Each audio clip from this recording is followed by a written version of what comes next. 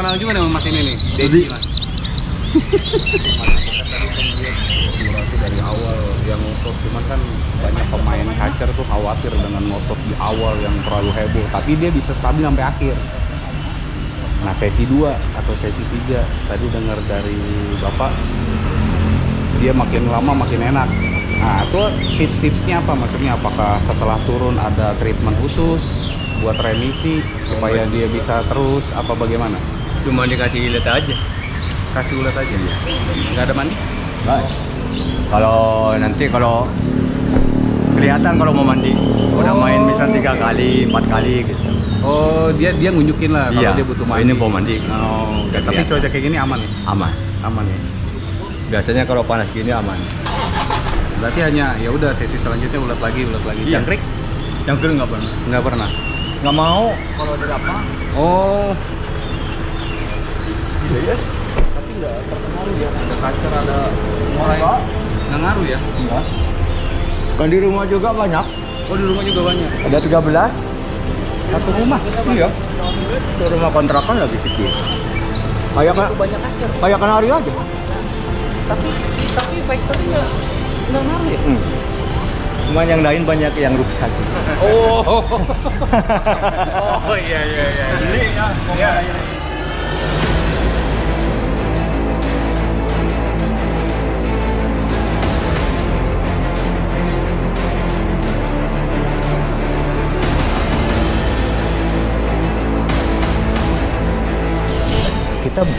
Di blok sini bisa dapat support-support atau lebih dari pemain-pemain luar yang untuk datang ke blok ini. Bagaimana sih caranya eh, pecinta-pecinta kacer yang terutama yang ada di blok sini itu ini loh kacer tuh seperti ini loh Sekarang- nikmatnya main Eh, kacer eh, seperti eh, ini loh Kayak hari ini yang di, di gantangan G24 Iya. itu rata-rata teman-teman luar kota loh. Iya, betul. Jangan salah loh. Betul, Dari blok betul. tengah, blok timur loh ya. Betul, betul. Nah, makanya kan aku bilang di tiket-tiket menengah ke atas ini PR PR paling eh, harus cari- dicari solusinya kan di situ Iya. untuk wilayah barat.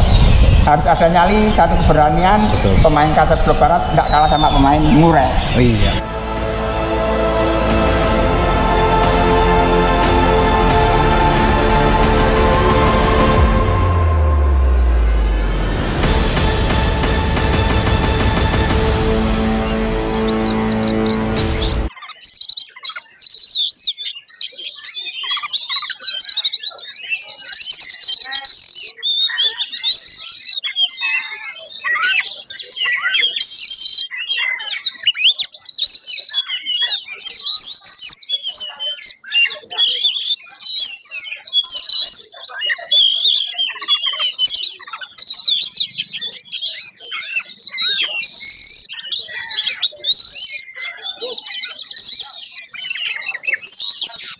you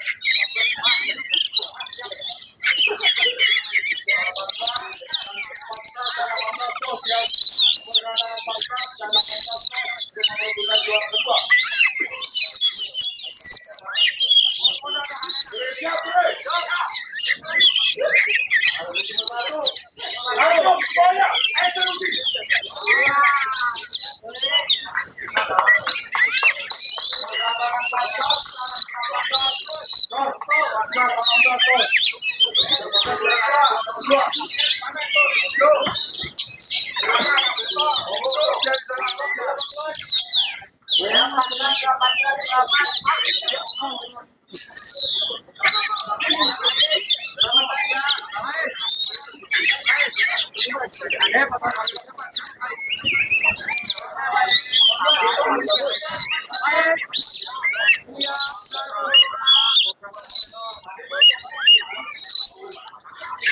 you.